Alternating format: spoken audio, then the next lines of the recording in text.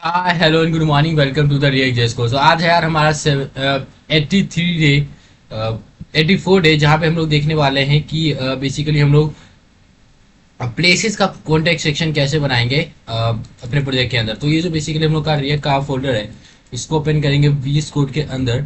तो इसको मैं राइट क्लिक करके शो मोर ऑप्शन करके ओपन विथ कोड करके इसको मैं ओपन करूँगा बी कोड के अंदर। तो ये करने से बेसिकली ये बी कोड के अंदर ओपन हो जाएगा एंड मैं इसको क्लोज करके सिंपली यहाँ पे जो मेरा टर्मिनल है इसके अंदर जाके मैं लिखूँगा क्लियर एंड अपना फ़ाइल क्लियर करने के बाद मैं लिखूँगा N P M run server N N P M run server करने से मेरा जो रिया का डेवलपमेंट सर्वर है वो यहाँ पे स्टार्ट हो जाएगा एंड मैं सिंपली इसको कंट्रोल करके क्लिक कर सकता हूँ और ये मेरा वेबसाइट जो है, यहाँ पे ओपन हो गया। तो अभी तक तो हम लोगों ने यार अपने वेबसाइट में ये चीज़ें क्रिएट कर दिया है और अबाउट सेक्शन हम लोग और क्रिएट करने वाले हैं। अबाउट सेक्शन में हम लोगों ने इतनी सारी चीज़ें जो क्रिएट कर दिया है। तो अब मैं क्या करूँगा? सिंपली यहाँ पे आऊँगा और मैं सिंपली एक इमेज जो है वो यहाँ पे मैंने इंस्टॉल कर रखा है। उसको मैं आपको दिखाता हूँ। तो वो इमेज है इमेजेस सेक्शन के अंदर एंड मैप इमेजेस का तो यहाँ पे मैंने कुछ इमेजेस को इंस्टॉल कर रखा है, मैं इसको क्या करूँगा? ये फोल्डर को ही करूँगा कट एंड ये फोल्डर को मैं इसके अंदर पब्लिक के अंदर यहाँ पे मैं पेस्ट कर दूँगा, ठीक है? तो ये यहाँ पे मैप वाला फोल्डर ही यहाँ पे आ गया है, ठीक है? तो मैं इसको यहाँ पे यूज़ कर सकता हूँ। तो मान लो जैसे मैं इसका रिनेम करके सिंपली मैप लिख देता हूँ, ठीक है? मैप एंड कर देता हूँ। तो यहाँ पे मैंने बेसिकली एक मैप नाम का फोल्डर क्रिएट करा है अगर मैं यहाँ पे आऊँ तो। और अगर मैं यहाँ पे देखूँ तो मेरा जो है वो कंपोनेंट्स बंद करूँगा स्लाइड से बंद करूँगा, और ये भी बंद करूँगा। तो पब्लिक के अंदर मेरे पास एक मैप फोल्डर है जिसमें कि तीन इमेजेस हैं, ठीक है? तो मैं क्या कहूँगा मैं सिंपली यहाँ पे आके देखूँगा यहाँ पे, और स्लैश अबाउट में मैं slash map slash map underscore one dot JPG करके मैं सिम्पलीट करूँगा तो ये मेरे को मैप यहाँ पे देखने को मिल जाएगा, ठीक है? तो इसी को बेसिकली हम यूज़ करने वाले हैं, यहाँ पे अपना अगले सेक्शन में। तो मैं यहाँ पे कंपोनेंट्स के अंदर एक और न्यू फ़ाइल बनाऊँगा, जिसका नाम मैं रखूँगा अबाउट अबाउट और अबाउट मैप डॉट जेएसएक्स यानी यहाँ पे आर सी सी करके मैं ये का एक क्लास बेस्ड कंपोनेंट बना लूँगा। एंड उसके साथ साथ अबाउट मैप डॉट बेसिकली मेरे को क्या करना पड़ेगा? स्टाइल्स बनाना पड़ेगा। तो स्टाइल्स में भी new file about map about map dot C S S and dot C S S बनाने के बाद मैं क्या करूँगा ये जो वेबसाइट्स है, इस वेबसाइट्स के अंदर जो मेरा अबाउट पेज है, इसके अंदर मैं इसको यूज़ करूँगा। तो मैं इंपोर्ट करूँगा अबाउट मैप को। तो मेरे को जो अबाउट मैप है, इसको मैं इंपोर्ट करूँगा। एंड इसी के साथ मैं अबाउट मैप को यूज़ करूँगा। जो मेरा अबाउट मैप है, उसको मैं यूज़ करूँगा। सिंपली मैं इसको यहाँ पे ऐसे करके यूज़ करूँगा। About map dot C S S को इधर ओपन करूँगा, बाकी इसको मैं, जो मेरा अबाउट मैप डॉट जे है, इसको मैं यहाँ पे रखूँगा। फिर उसके बाद में जो क्लास इसका मैं उसको इम्पोर्ट करूँगा, मैं कहूँगा इम्पोर्ट इसका बेसिकली जो भी क्लास है तो इसमें मैं इंक्लूड करूँगा। बेसिकली जो मेरा फोल्डर का नाम है तो डॉट डॉट स्लैश और जो मेरा स्टाइल्स है, उसके अंदर मैं जाऊँगा। स्टाइल्स के अंदर बेसिकली क्या है? स्टाइल्स के अंदर बेसिकली मेरा अबाउट मैप है। प्लस यस यस एंड मैं यहाँ पे सिंपली पहले यूनिवर्सल सेलेक्टिव जो है, वो मैं यहाँ पे लगा लेता हूँ। मैं यहाँ पे कहूँगा, देखो भाई, जो मेरा मार्जिन होगा, जो मेरा मार्जिन होगा जो मेरा मार्जिन होगा, वो बेसिकली होगा टेन पिक्सल का। पैडिंग टेन पिक्सल का। मार्जिन पैडिंग देने के बाद आ, मैं जो ये मेरा डिव है उसको मैं दूँगा एज अ मेन क्लास मैं इसको क्लास दूँगा about map underscore main ठीक है? तो मैं इसको कॉपी करूँगा। About map underscore map को मैं डॉट कर पेस्ट करूँगा। एंड यहाँ पे मैं सिंपली लिखूँगा कि अबाउट अंडर स्कोर मेन जो है उसका हाइट होगा जनरली फिफ्टी बी एच या sixty B H and sixty B H करने के बाद इसका जो ब्रिथ होगा, वो होगा हंड्रेड परसेंट एंड ब्रिथ के बाद मैं कहूँगा कि इसमें होगा एक बैकग्राउंड कलर जो कि मैं अभी के लिए ब्राउन रख देता हूँ ताकि मुझे पता चल जाए। और मैं यहाँ पे आके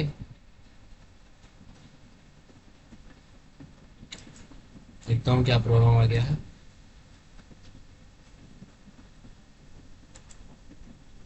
Okay margin zero pixel zero pixel करना है टेन पिक्सल नहीं करना है ओके एंड अब ये प्रॉब्लम सब बताना चाहिए तो यस इट वॉज़ सॉल्व मैं अबाउट से अबाउट पेज पे जाऊँगा एंड देखूँगा क्या मेरा यहाँ पे बॉर्डर आया तो यहाँ पे मेरे को ये चीज़ आ गया है। तो मैं आपको दिखाता हूँ सबसे पहले तो ये जो मैंने यूज़ करा है यहाँ पे इमेजेस तो मेरे पास है यार तीन इमेजेस पहला इमेजेस है ये।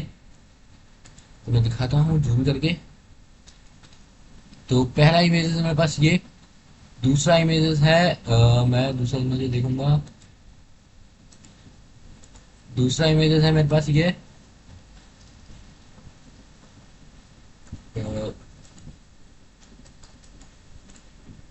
एंड जो तीसरा इमेजेस है मेरे पास वो है ये।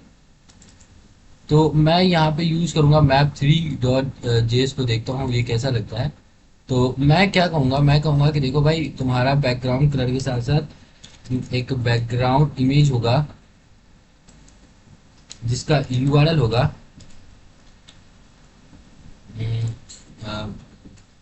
map underscore three dot JPG और मैं यहाँ पे देखूँ तो ये मैं ये इमेज यहाँ पे आया चाहिए था बट नहीं आ रहा है, क्योंकि ये मेरे को मैप के अंदर मिलेगा। तो मैप स्लैश मैप तो underscore three dot JPG and ये इमेज आप देख सकते हो यहाँ पे। आ, मेरे को देखने को मिल गया है। अगर मैं मैप टू यूज़ करता तो ये कैसा रहता?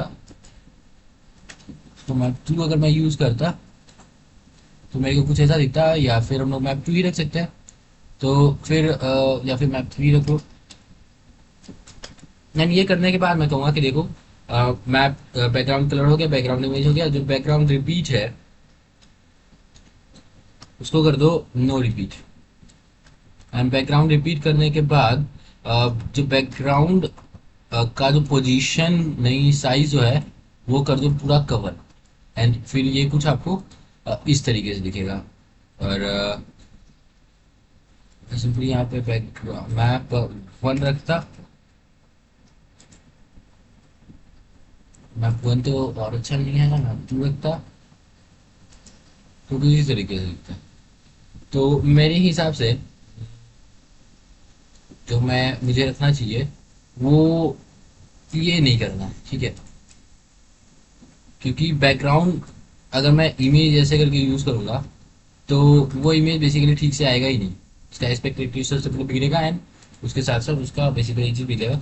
तो मैं एक डिप बनाऊँगा div div dot M underscore image नाम का मैं एक डिप बनाऊँगा एंड इस डिप के अंदर ये इमेज को मैं यूज़ करूँगा।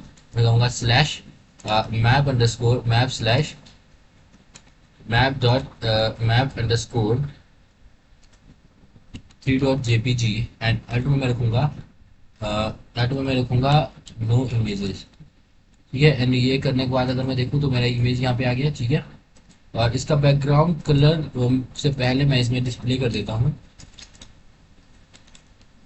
फ्लैग्स एंड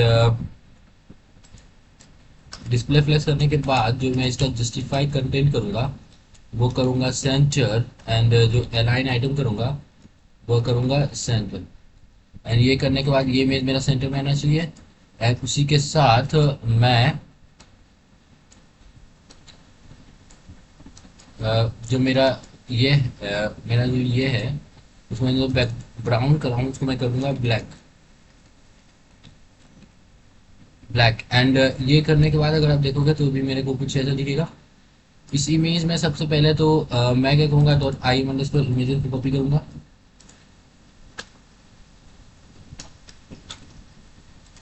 एंड मैं कहूँगा कि देखो भाई तुम्हारा होने वाला है बैकग्राउंड कलर जो होगा वो मान लो अभी मैं बैकग्राउंड कलर ब्लू वायलेट इसका रखता हूँ। वायलेट करने के बाद मैं कहूँगा कि तुम्हारा बेसिकली जो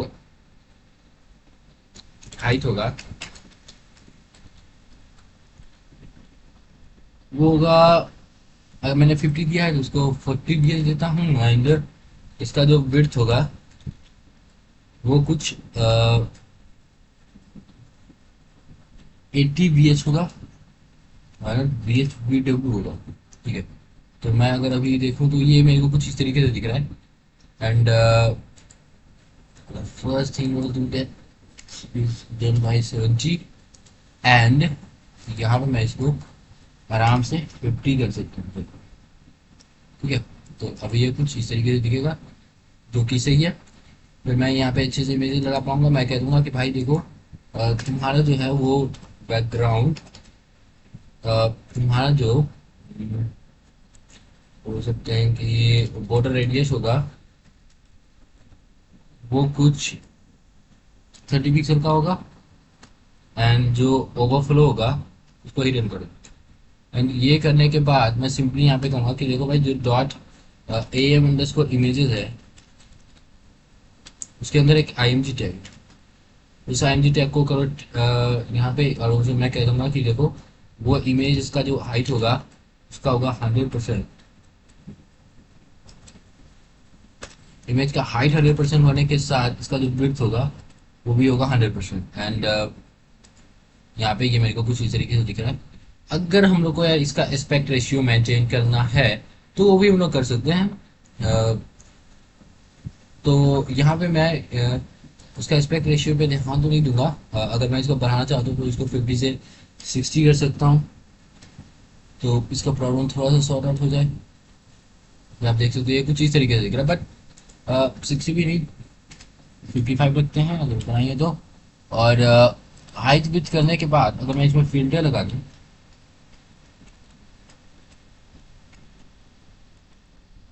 फ़िल्टर को मैं ग्रे स्केल को ज़ीरो पॉइंट थ्री कर दूँ। तो ये अभी कुछ इस तरीके से दिख रहा है। देन हम लोग इसको कुछ इस तरीके से कर सकते हैं, ठीक है?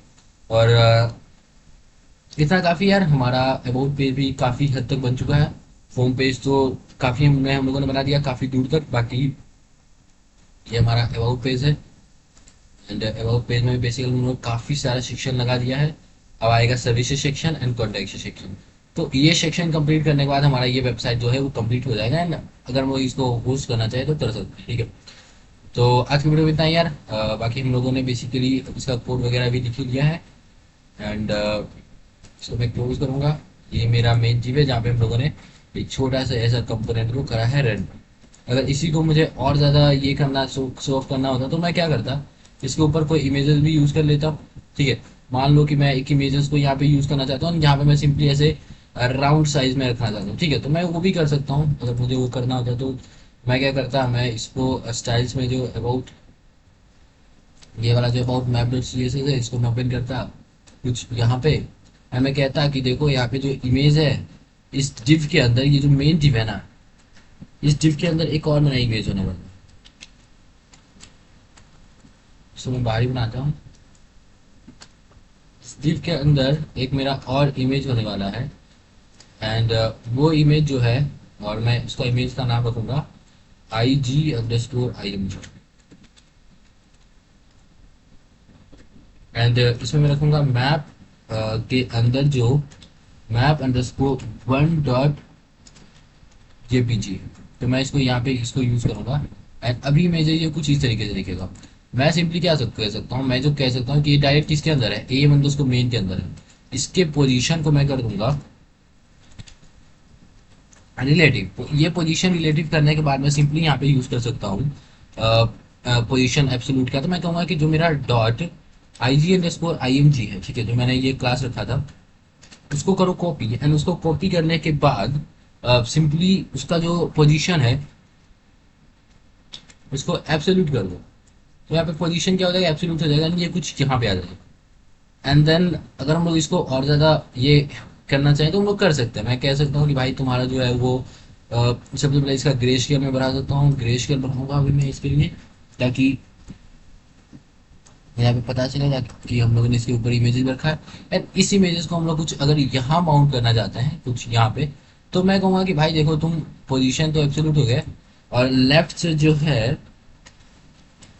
वो तुम ट्वेंटी बी एच लेफ़्ट से मूव हो जाओ। तो लेफ़्ट से क्या हो जाएगा? ये ट्वेंटी पिक्सल हो जाएगा। बट मुझे कुछ राइट से चाहिए।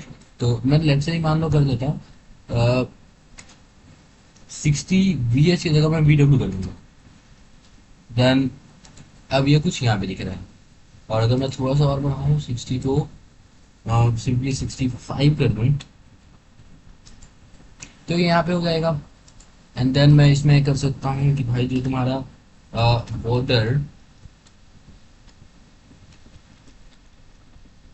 रेडियस होगा, वो कुछ फिफ्टी पिक्सल का होगा। And then border radius fifty pixel करने के बाद ये कुछ इस तरीके से दिख रहा है। एंड जो स्टाइलिंग यार हम लोग यहाँ पे देना चाहते हैं, वो स्टाइलिंग हम लोग यहाँ पे दे सकते हैं। जो आपकी मर्ज़ी है, जैसा आप आप करना चाहते हो, वो यहाँ पे आप कर सकते हो, ठीक है?